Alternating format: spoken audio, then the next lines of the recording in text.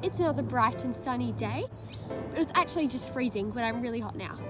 Today I'm going to be doing a Q&A about my life and so you can get to know me a bit better. Questions are going to be based on like health, fitness, school, work.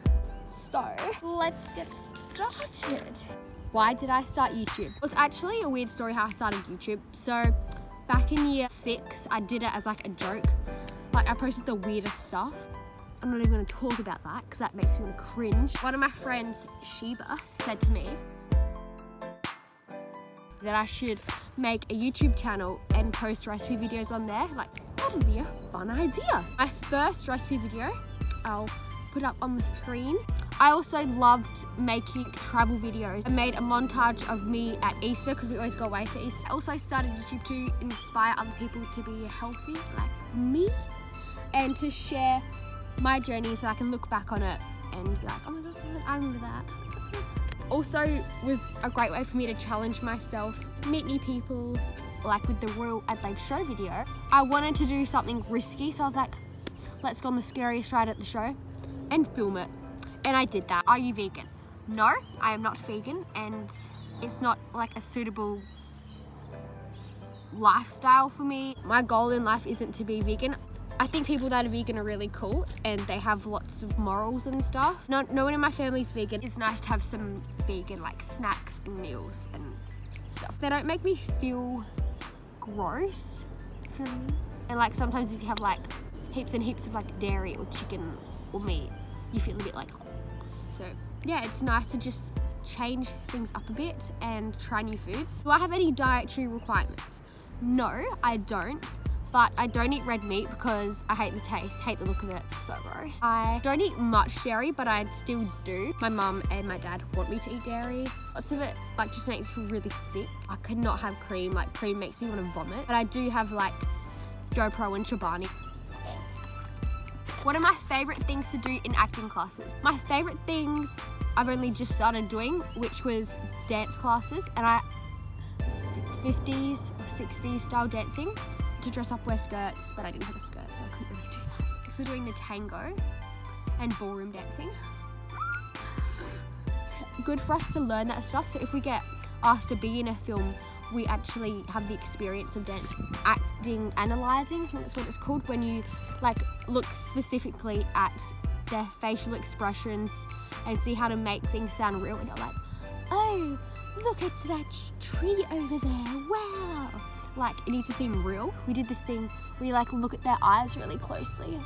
And like if they look up there and there and there and there, and there, it all means different things. Like to memories, to emotions, to sounds you haven't heard before, to things you haven't seen before. What are my hopes for the future? For my near future, I want to continue working hard at work and save up enough money to buy a Mac. Enjoy being a teenager because I won't be a teenager for long. I will a lot of years. Also prepare myself for the future. I don't want to be living in South Australia. I find it the most boring place in the world. Maybe in Sydney or Queensland. Oh, right. I used to want to live in America so badly, but I just don't see that happening. See where the wind takes me. I just don't want to like just do the bare minimum of everything. I want to put myself to some good use. What is my favorite recipe of all time? That'd have to be smoothie bowls. I just love smoothie bowls. So many different flavors, so many different toppings, so many different textures. Where do you get all of your clothes? You probably think I wear the same clothes every day, but I actually have a lot of clothes. I haven't gone shopping in a while, so I don't have any summery stuff. Got these beautiful leggings from Sarah's Day Cross White Fox Boutique, and they are the best leggings I've ever got. Like, got grass on my bum. But they're just so good. I'm gonna do an active wear haul soon so you can see all that. This I got from Cotton On, I think. I should get my clothes from Cotton On or active wear. I'm like in active wear 90% of the time. Now I'm cold again. Okay. Have you got your back handspring yet? No, I haven't, and I really want to. When I went to do it on the floor, it was completely new and weird, and I just couldn't get it. I kept, like, I'll give you a demonstration. There, and then I go, wee! To the side. And I don't know, my body just does weird things when I'm going backwards. My sister can't spot me because she'll drop me on my head. How do you never have cheat days in your diet.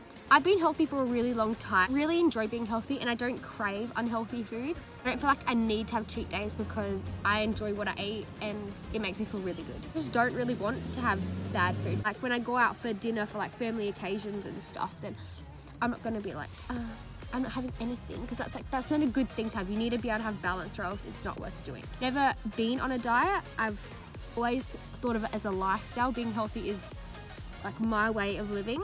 And just think about now, like going back to how I used to, I just couldn't do it. I just, because I'm a teenager, I'm growing. I need these nutrients.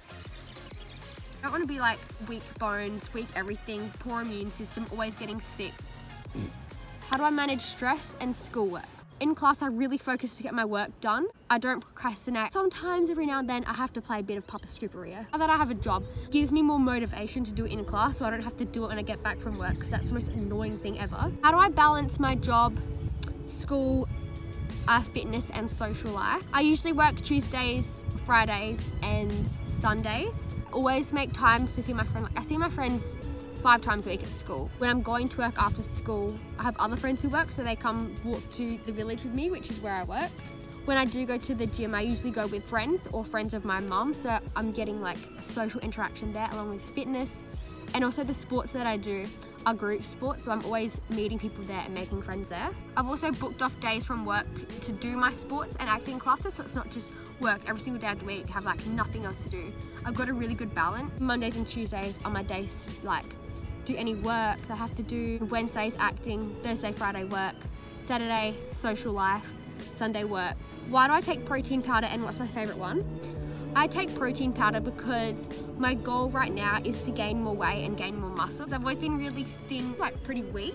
The things I do in tumbling, I need to have strength for. Like, I'm not like really underweight, a little bit below the average. So I just want to get back up to a normal weight. What are you doing? Anyway.